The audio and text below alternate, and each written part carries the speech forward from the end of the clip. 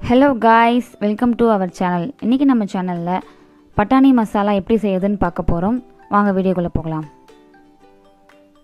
இதுக்கு ஃபஸ்ட்டு நான் இரநூறு கிராம் வெள்ளை பட்டாணியை ஒரு ஃபைவ் டு சிக்ஸ் ஹவர்ஸ் ஊற வச்சு எடுத்திருக்கேன். இப்போ இது ரெண்டு வாட்டி அலசிட்டு குக்கரில் மாற்றிக்கலாம் அடுத்து பட்டாணியை வேக வைக்கிறதுக்காக தேவையான அளவு தண்ணி தேவையான அளவு உப்பு ஆட் பண்ணிவிட்டு குக்கரில் ஒரு ஒரு விசில் வச்சு எடுத்துக்கலாம். இப்போ பட்டாணி நல்லா வெந்து வந்துருச்சு. இதை தனியாக எடுத்து வச்சுக்கலாம். இப்போ நம்ம மசாலாவை ரெடி பண்ணலாம். ஃபஸ்ட்டு ஒரு பேனில் மூணு டேபிள் ஸ்பூன் எண்ணெய். எண்ணெய் காஞ்சதுமே ரெண்டு துண்டு பட்டை மூணு கிராம்பு ஒரு சின்ன துண்டு இஞ்சி நாலு பல் பூண்டு நாலு பச்சை மிளகா இது எல்லாத்தையும் நல்லா கொஞ்சம் வதக்கிக்கலாம்.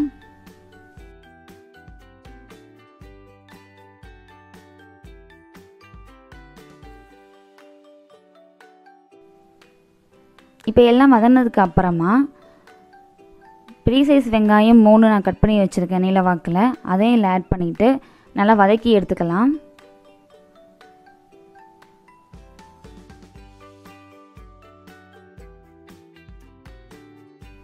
வெங்காயம் வதங்கினதுக்கு அப்புறமா மீடியம் சைஸ் தக்காளி ரெண்டு அதையும் கட் பண்ணி வச்சுருக்கோம். நம்ம அதையும் ஆட் பண்ணிக்கலாம். இப்போ எல்லாத்தையும் நம்ம மிக்சியில் போட்டு அரைக்க போகிறதால ஒன்றும் பதியமாக கட் பண்ணாலே போதும்.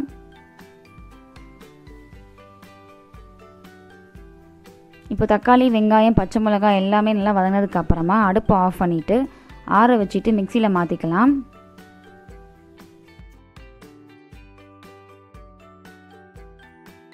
இப்போ இதை நல்லா பேஸ்ட்டாக அரைக்க போகிறோம் ஸோ கொஞ்சமாக தண்ணி சேர்த்துட்டு நல்லா பேஸ்ட்டாக அரைச்சி எடுத்துக்கலாம். அடுத்து ஒரு பேனில் ரெண்டு டேபிள் ஸ்பூன் எண்ணெய் ஆஃப் ஸ்பூன் சோம்பு. நான் சோம்பை வீட்லேயே ஒன்றும் பதிகமாக அரைச்சி வச்சுருப்பேன் கொஞ்சம். ஸோ நான் அதை தான் இன்றைக்கி ஆட் பண்ணியிருக்கேன். அப்படி இல்லாதவங்க நார்மல் சோம்பே ஒரு ஆஃப் ஸ்பூன் சேர்த்துக்கிட்டா போதும். அடுத்து நம்ம அரைச்சி வச்சுருக்க பேஸ்ட்டையும் இதில் ஆட் பண்ணிக்கலாம். அது கொஞ்சம் கொதிச்சு வரத்துக்கு தேவையான அளவு தண்ணி. இப்போ இப்போ இது நல்லா கலந்து விட்டுக்கலாம். கொஞ்சம் நல்லா கொஞ்சம் கொதிச்சு வரட்டும்.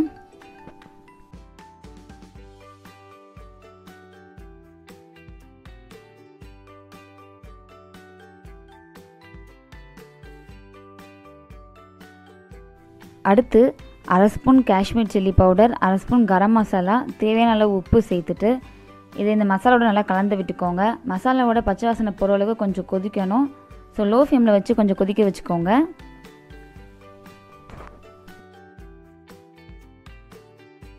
மசாலாவோட பச்சை வாசனை போனதுக்கப்புறமா நம்ம ஆல்ரெடி எடுத்து வச்சுருக்க வெள்ளை பட்டாணியை இதில் ஆட் பண்ணிக்க போகிறோம் ஆட் பண்ணிவிட்டு நல்லா கலந்து விட்டுக்கோங்க.